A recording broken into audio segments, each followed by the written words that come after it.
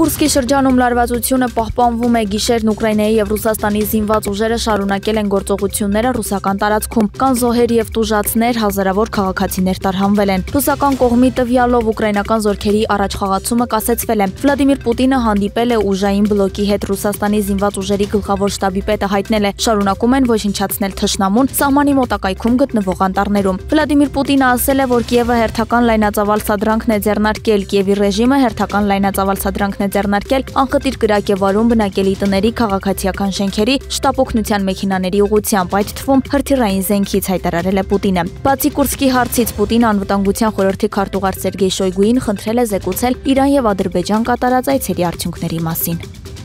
Եվրահանձնաժողովի արտաքին քաղաքական հարցով ներկայացուցիչ Պետր Ստանոն մեկնաբանելով Ռուսաստանի Կուրսկի շրջանում տեղի ունեցած իրադարձությունները, հայտարարել է, որ Ուկրաինան ինքնապաշտպանության իրավունք ունի եւ կարող է հարվածել ռուսական տարածքին։ ԵՄ շարունակում է լիովին աջակցել Ուկրաինայի օրինական իրավունքին պաշտպանվելու ռուսական ագրեսիայից եւ ինքնիշխանության եւ տարածքային ամբողջականության վերականգնման ուղղված նրա ջանքերին, հավելել է Եվրահանձնաժողովի ներկայացուցիչը։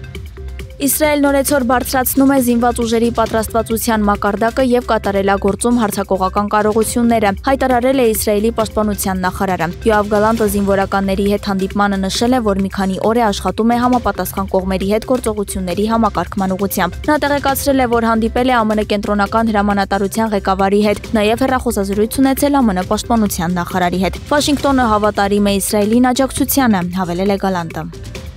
Ամերիկայի Միացյալ Նահանգների նախագահ Ջո Բայդենը վստահ չէ, որ իշխանության խաղաղ փոխանցում կլինի, եթե նախկին նախագահ Դոնալդ Թրամփը պարտվի նոյեմբերին կայանալիք ընտրություններում։ Բայդենը հիմնվում է այն բանի վրա, որ Թրամփը հայտարարել էր ինքը կարող է պարտվել միայն այն դեպքում, եթե ընտրությունները գողանան իրենից։ Ես ոչնչում վստահ չեմ, մենք նրան լուրջ չենք ընդունում, բայց նա ամենայն լրջությամբ է ասում, երբ հայտնում է, որ եթե իրենք պարտվեն, արյունահեղություն կլինի։ Դա կլինի գողացված ընտրություն, ասել է Բայդենը։ Թրամփը մարտին հայտարարել էր, որ եթե պարտվի 2024 թվականին վերջին ընտրություններում ապա կլինի արյունահեղություն ԱՄՆ ավտոարդյունաբերության եւ երկրի համար։